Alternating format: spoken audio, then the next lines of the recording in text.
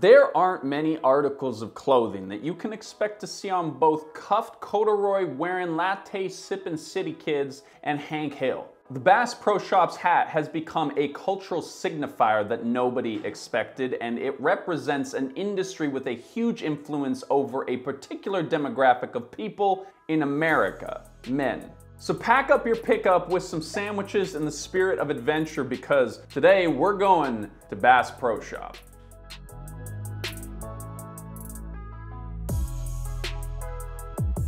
Now, for those of you clicking on this video without context for what the hell is going on, the Bass Pro Shop hat is basically just merch for a store called Bass Pro Shop, or Outdoor World, or Cabela's if you're in Canada. This shop is where people go to buy guns, camouflage, and yes, fishing stuff. But that doesn't really explain why the hat has become a fashion item or why the company itself has grown into an icon of American culture. Because let's be honest, no one who wears this hat is going hunting this weekend.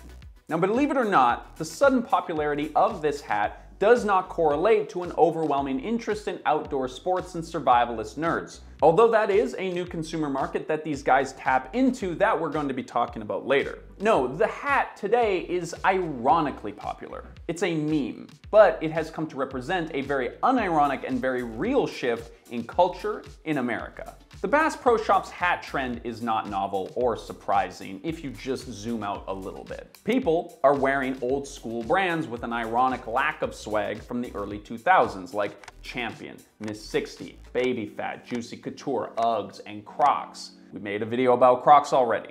In fact, it's not even the only hat from this era. The Von Dutch hat is also popular amongst the Gen Z fashion folks nowadays. But anyway, it's back, the trucker hat that is, and Gen Z style masters in all their wisdom have decided that the Bass Pro Shops hat would become relevant for some reason. But its insane popularity and significance across different demographics is not something that could have been planned. And that's what makes this phenomenon different. Hey team, so I know that we are normally telling you about stuff that you should not buy, but in this case, we're actually telling you to buy our stuff. We are stoked to announce that we are going to be releasing a limited batch of stickers. So we have five stickers in the pack. The first two are future-proof branded stickers. We have the stop buying shit you don't need sticker, a Starbucks ripoff one that I'm really proud of, and the fake Costco card, which is a classic. We designed all of these in-house and we thought it was just a really cool way for us to make something that you could buy to help support this channel. And these stickers are kind of the best option. It's a cool token that shows that you support what we do and that you like our content, but it's also a low impact product that's locally made. The sticker packs are going to be selling for $25 USD and are going to be exclusively available for those who are living in Canada and the United States. We may expand shipping later, but for right now, we're just trying to keep it simple. If you are supporting us on Patreon, you'll be getting an additional $5 off of any sticker packs. Plus, if you join us over there, you will be getting access to exclusive content as well. We release a monthly podcast over on Patreon, and it's another great way to support what we do. So if you want to support what we do, check them out through the link down in the description. Thank you so much. Now let's get back into the video. Now you might be familiar with something called Laver's Law of Fashion, which is basically the idea that wearing stuff that used to be cool before it's cool again makes it cool. Cyclical trends happen all the time, and we kind of know this, right? And of course, today, in 2024, we have the influencers doing their thing to help spread the word about the whole Bass Pro Shop trend that it is. But as far as we can tell, this trend has kind of just grown organically. Bass Pro Shops did not plan out a social blitz for this thing. There was no Mad Men vision where rednecks and English lit majors are wearing the same hats in perfect harmony. It just sort of happened. But that would be a pretty short future-proof video. So here are some surface level reasons why it happened and we're gonna get into the deeper stuff later. At $6.99, this hat is a cheap doorbuster because it's free advertising for the brand and you know what everybody loves? A good deal. But the unique thing that this weird hat has going for it is its popularities on both sides of the political spectrum. Gen Z loves this hat for the meme.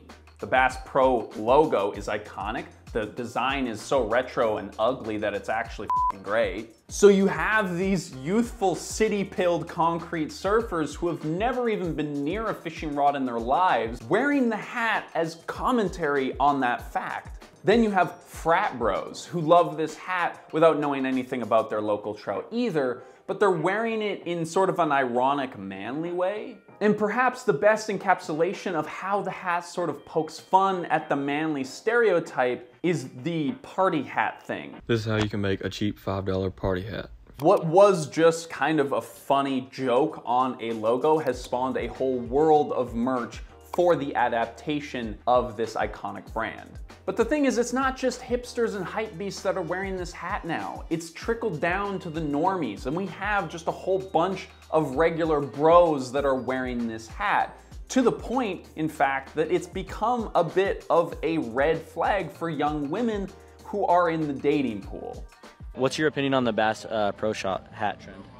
Um, it's the immediate red flag of a boy, so sorry about that. And then, way on the outside of all of this are just legit fishermen and hunters who are wearing the hat because they probably got it for free with an order of ammunition that they bought at Bass Pro Shops one day. So you have a lot of different people wearing these hats for a lot of different reasons.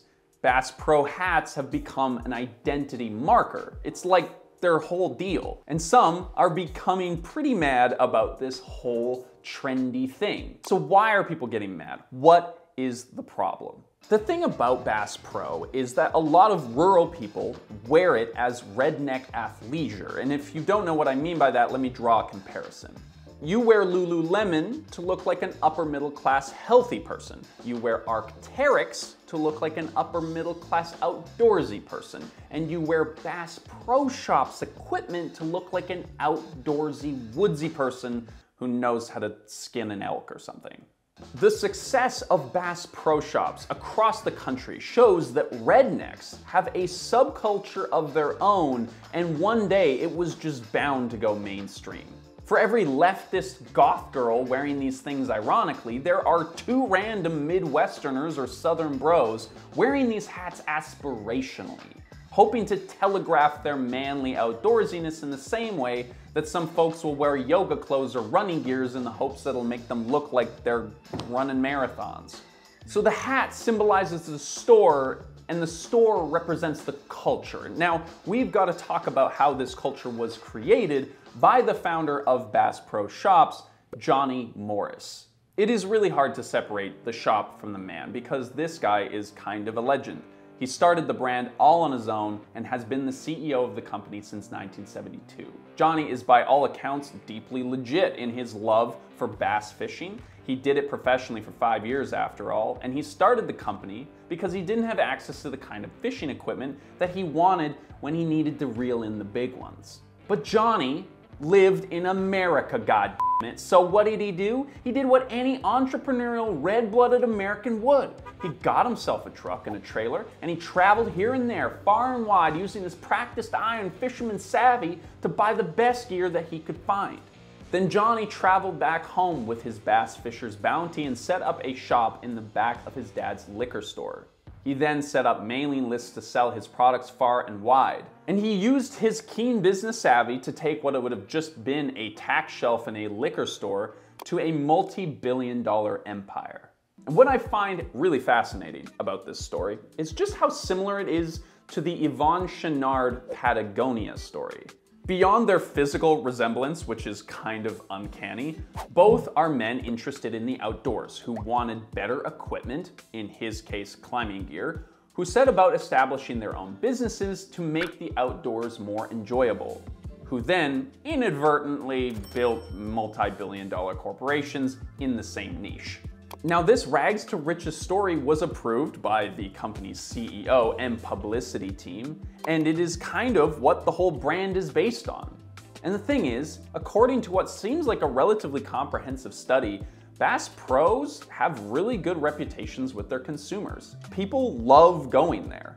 But this is kind of where the similarities between Bass Pro and Patagonia stop. If Patagonia is supposedly all about saving the planet, Bass Pro is all about the money. They got really good at not just creating their own proprietary brands of fishing gear, boats, ATVs, and clothes, and pretty much whatever else you can think of. They also make a bass ton of money on a bunch of subsidiary companies, which include things like hotels, resorts, a proprietary line of boats, a goddamn music festival, resorts. Did I mention resorts? The list goes on forever. The Federal Trade Commission even blocked the parent company of Bass Pro Shops from acquiring another sporting goods chain on the grounds that this would basically make them the only gig in town for like the entire USA. But it wasn't just a nifty story and some good business moves that ensured that this brand was successful. Bass Pro Shops has somehow become the most American store on the planet. See, Bass Pro Shops is like if the Willy Wonka chocolate factory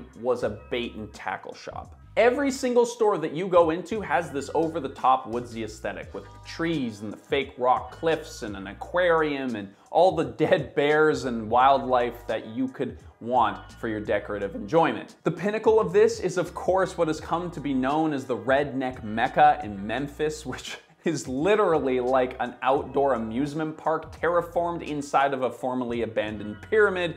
Don't worry, we're gonna get to that in a little bit. And the thing is, this Disneyland shopping experience sells stuff like you wouldn't believe. While most zoos and science centers cost money to go to, Bass Pro is free. It costs no money for the average city dweller to wander in and soak up the nature adjacent vibes.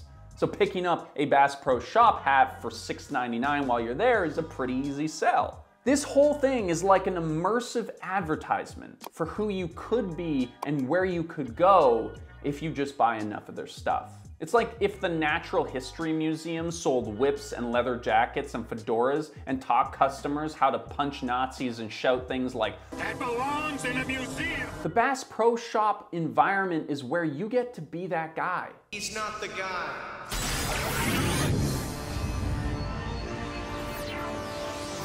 I am.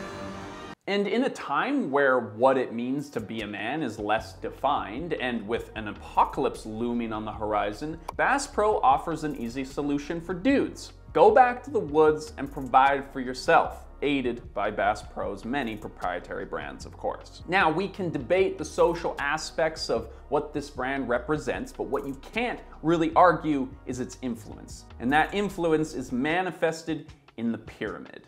Now, if you were pitching a movie idea about how capitalism is the new religion in an age where traditional religions are on the decline, you'd get laughed out of any writer's room for dreaming up something as hacky as a giant glittering pyramid with a Technicolor fish logo on the side. But the pyramid is kind of like the giant temple or church in this metaphor. This place has everything where they're going to be doing water sports, hunting, camping, fishing. This is kind of like the mecca. As we mentioned before, commenters online jokingly call it Red Necca or Redneck Mecca in reference to the holiest place in the Muslim faith, where all those who are physically and financially able must travel to once in their lives. It is a truly beautiful expression of faith and tradition in that context, but something that the real Mecca luckily never has to deal with, that Red Necca and other smaller Bass Pro Shops do have to deal with, is devotees getting buck naked and cannonballing into the fish tank.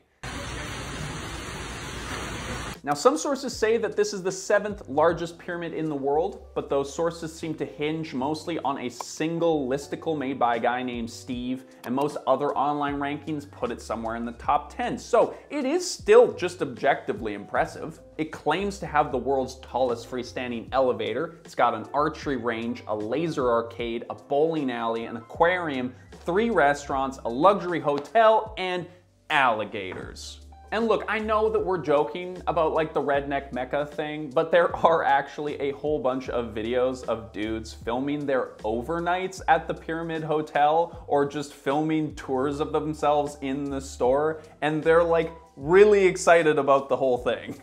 So as we've said a bunch of times in this video already, the Bass Pro Shop brand is a symbol for a bunch of different people for a bunch of different reasons. And that symbol is the tough and capable man stereotype. And I feel like this TikTok posted by the official Bass Pro Shops account captures this perfectly.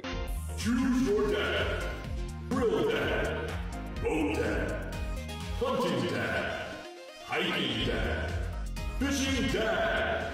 This like choose your character idea is like exactly what Bass Pro Shops is all about. There, you can go and make your dude identity and find all the stuff that you need to fulfill it. When we were sifting through videos trying to figure out what the deal was with this whole thing, we started noticing a trend of women online posting weirdly patronizing videos like cheat day for hubby or alternately dudes posting videos about going to Bass Pro with their bored wives and spending all the money that they weren't allowed to spend. I'm proud of you, you know that. I hope you do. And this whole dude space versus chick space is on purpose because Bass Pro Shops isn't the first one to do it. Places like Sephora are designed to make you feel more feminine. You wander the brightly lit aisles and gorgeous people with immaculate hair and makeup come up to you and offer to teach you about how to use their product and also subliminally teach you how to move in the world as a beautiful and modern woman. And Bass Pro Shops does the same thing for guys, but with camo and fishing equipment. Go to a Bass Pro Shop and guarantee there's gonna be at least one other dude there willing to talk as much or as little as you want while you both look at rod and reel sales. It's like a safe space for a certain kind of male stereotype. This brand is for an increasingly divided America to feel surrounded by foundational American patriotic mythology, freedom, hunting, fishing, and the absolute fairy tale of a billionaire who came from nothing. And you can be a part of the whole thing if you just buy a $7 hat. If you like this video and you want to see more of it, make sure to like it and subscribe, and we'll see you every single week for another upload.